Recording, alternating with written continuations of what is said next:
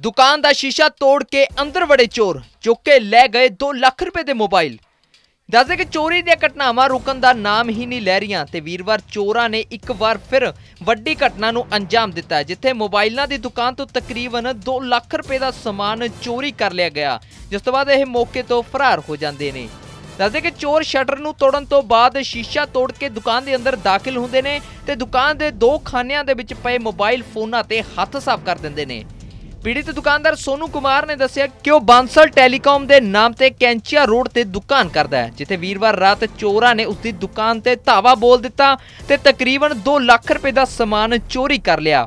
ਪੀੜਿਤ ਦੁਕਾਨਦਾਰ ਨੇ ਪੁਲਿਸ ਪ੍ਰਸ਼ਾਸਨ ਤੋਂ ਦੋਸ਼ੀਆਂ ਨੂੰ ਫੜਨ ਲਈ ਅਤੇ ਉਹਨਾਂ ਦਾ ਸਮਾਨ ਬਰਾਮਦ ਕਰਨ ਦੀ ਮੰਗ ਕੀਤੀ ਹੈ।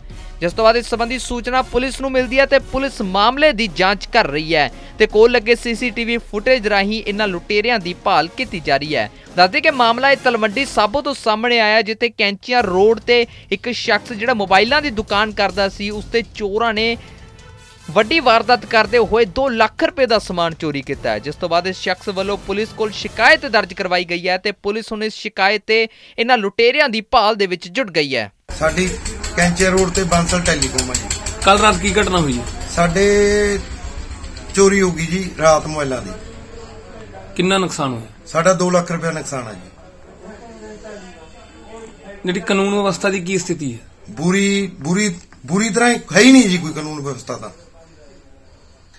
ਕੀ ਮੰਗ ਕਰਦੇ ਹੋ ਤੁਸੀਂ ਸਰਕਾਰ ਤੇ ਪ੍ਰਸ਼ਾਸਨ ਤੋਂ? ਮੰਗ ਤਾਂ ਇਹੀ ਕਰਦੇ ਆ ਜੀ ਵੀ ਜਿਹੜਾ ਸਾਡਾ ਨੁਕਸਾਨ ਹੋਇਆ ਪੁਲਿਸ ਪ੍ਰਸ਼ਾਸਨ ਉਹਨੂੰ ਚੋਰਾਂ ਨੂੰ ਫੜਿਆ ਜਾਵੇ ਉਹਨਾਂ ਤੇ ਬੰਦੀ ਕਾਰਵਾਈ ਕੀਤੀ ਜਾਵੇ ਤੇ ਸਾਡਾ ਨੁਕਸਾਨ ਦਵਾਇਆ ਜਾਵੇ। ਕਾਨੂੰਨ ਵਿਵਸਥਾ ਜਿਹੜੀ ਜਿਹੜੀ ਰਾਮ ਮੰਡੀ ਦੀ ਬਹੁਤ ਮਾੜੀ ਹੈ ਜੀ। ਸੋ ਇੱਥੋਂ ਪਹਿਲਾਂ ਵੀ ਦੋ ਤਿੰਨ ਵਾਰੀ ਚੋਰੀਆਂ ਹੋ ਚੁੱਕੀਆਂ ਜੀ। ਪਿੱਛੇ ਜੇ 5-7 ਦਿਨ ਪਹਿਲਾਂ ਹੀ 4-5 ਦੁਕਾਨਾਂ 'ਚ ਚੋਰੀ ਹੋ ਗਈਆਂ ਉਹਦੀ ਵੀ ਜਿਹੜੀ ਕੋਈ ਵੀ ਹਜੇ ਤੱਕ ਇਨਕੁਆਇਰੀ ਨਹੀਂ ਖੁੱਲੀ ਜੀ ਕੁਝ ਨਹੀਂ ਹੋਇਆ ਜੀ।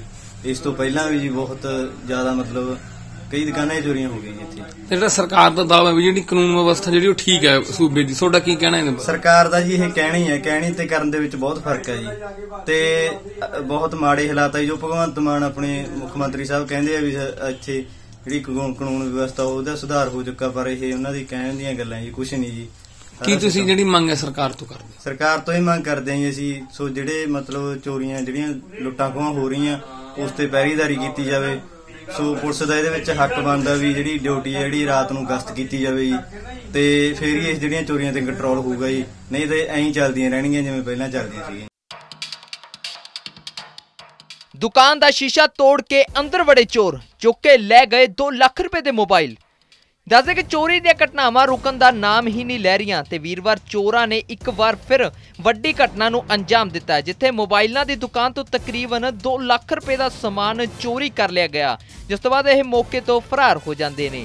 ਦੱਸਦੇ ਕਿ ਚੋਰ ਸ਼ਟਰ ਨੂੰ ਤੋੜਨ ਤੋਂ ਬਾਅਦ ਸ਼ੀਸ਼ਾ ਤੋੜ ਕੇ ਦੁਕਾਨ ਦੇ ਅੰਦਰ ਦਾਖਲ ਹੁੰਦੇ ਨੇ ਤੇ ਦੁਕਾਨ ਦੇ ਦੋ ਖਾਨਿਆਂ ਦੇ ਵਿੱਚ ਪਏ ਮੋਬਾਈਲ ਫੋਨਾਂ ਤੇ ਹੱਥ ਸਾਫ਼ ਕਰ ਦਿੰਦੇ ਨੇ। ਪੀੜਿਤ ਦੁਕਾਨਦਾਰ ਸੋਨੂ ਕੁਮਾਰ ਨੇ ਦੱਸਿਆ ਕਿ ਉਹ ਬਾਂਸਲ ਟੈਲੀਕਾਮ ਦੇ ਨਾਮ ਤੇ ਕੈਂਚੀਆ ਰੋਡ ਤੇ ਦੁਕਾਨ ਕਰਦਾ ਹੈ, ਜਿੱਥੇ ਵੀਰਵਾਰ ਰਾਤ ਚੋਰਾਂ ਨੇ ਉਸ ਦੀ ਦੁਕਾਨ ਤੇ ਧਾਵਾ ਬੋਲ ਦਿੱਤਾ ਤੇ ਤਕਰੀਬਨ 2 ਲੱਖ ਰੁਪਏ ਦਾ ਸਮਾਨ ਚੋਰੀ ਕਰ ਲਿਆ। ਪੀੜਿਤ ਦੁਕਾਨਦਾਰ ਨੇ ਪੁਲਿਸ ਪ੍ਰਸ਼ਾਸਨ ਤੋਂ ਦੋਸ਼ੀਆਂ ਨੂੰ ਫੜਨ ਲਈ ਅਤੇ ਉਹਨਾਂ ਦਾ ਸਮਾਨ ਬਰਾਮਦ ਕਰਨ ਦੀ ਮੰਗ ਕੀਤੀ ਹੈ।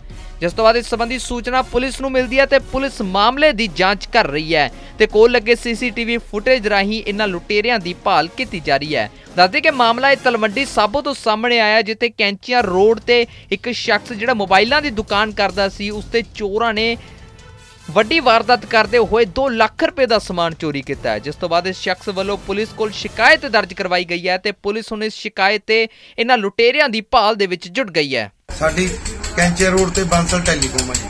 ਕੱਲ ਰਾਤ ਕੀ ਘਟਨਾ ਹੋਈ? ਹੈ? ਸਾਡੇ ਚੋਰੀ ਹੋ ਗਈ ਜੀ ਰਾਤ ਮੋਬਾਈਲਾਂ ਦੀ ਕਿੰਨਾ ਨੁਕਸਾਨ ਹੋਇਆ? ਸਾਡਾ 2 ਲੱਖ ਰੁਪਏ ਨੁਕਸਾਨ ਆ ਜੀ। ਜਿਹੜੀ ਕਾਨੂੰਨ ਵਿਵਸਥਾ ਦੀ ਕੀ ਸਥਿਤੀ ਹੈ? ਬੁਰੀ ਬੁਰੀ ਬੁਰੀ ਤਰ੍ਹਾਂ ਹੀ ਹੈ ਹੀ ਨਹੀਂ ਜੀ ਕੋਈ ਕਾਨੂੰਨ ਵਿਵਸਥਾ ਦਾ ਕੀ ਮੰਗ ਕਰਦੇ ਤੁਸੀਂ ਸਰਕਾਰ ਤੇ ਪ੍ਰਸ਼ਾਸਨ ਤੋਂ? ਮੰਗ ਤਾਂ ਇਹੀ ਕਰਦੇ ਆ ਜੀ ਵੀ ਜਿਹੜਾ ਸਾਡਾ ਨੁਕਸਾਨ ਹੋਇਆ ਪੁਲਿਸ ਪ੍ਰਸ਼ਾਸਨ ਉਹਨੂੰ ਚੋਰਾਂ ਨੂੰ ਫੜਿਆ ਜਾਵੇ ਉਹਨਾਂ ਤੇ ਬੰਦੀ ਕਾਰਵਾਈ ਕੀਤੀ ਜਾਵੇ ਤੇ ਸਾਡਾ ਨੁਕਸਾਨ ਦਵਾਇਆ ਜਾਵੇ। ਕਾਨੂੰਨ ਵਿਵਸਥਾ ਜਿਹੜੀ ਜਿਹੜੀ ਰਾਮ ਮੰਡੀ ਦੀ ਬਹੁਤ ਮਾੜੀ ਹੈ ਜੀ। ਸੋ ਇੱਥੋਂ ਪਹਿਲਾਂ ਵੀ ਦੋ ਤਿੰਨ ਵਾਰੀ ਚੋਰੀਆਂ ਹੋ ਚੁੱਕੀਆਂ ਜੀ। ਪਿੱਛੇ ਜੇ 5-7 ਦਿਨ ਪਹਿਲਾਂ ਹੀ 4-5 ਦੁਕਾਨਾਂ ਚੋਰੀ ਹੋ ਗਈਆਂ ਉਹਦੀ ਵੀ ਜਿਹੜੀ ਕੋਈ ਵੀ ਹਜੇ ਤੱਕ ਇਨਕੁਆਇਰੀ ਨਹੀਂ ਖੁੱਲੀ ਜੀ ਕੁਝ ਨਹੀਂ ਹੋਇਆ ਜੀ।